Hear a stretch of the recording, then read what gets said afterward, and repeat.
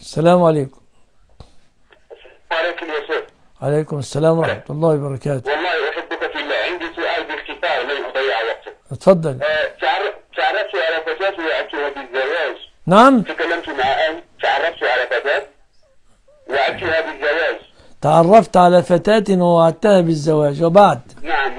وتكلمت مع أهلي ثم تكلموا مع أهلها. وحددنا ميعادا إيه. هذه يومين وقالت لي أنها ليست عذراء. هل آه. أحسن إن تج- إن إن لم أفي بوعدي لا لا تأثم. الحمد لله. الله يوفقك.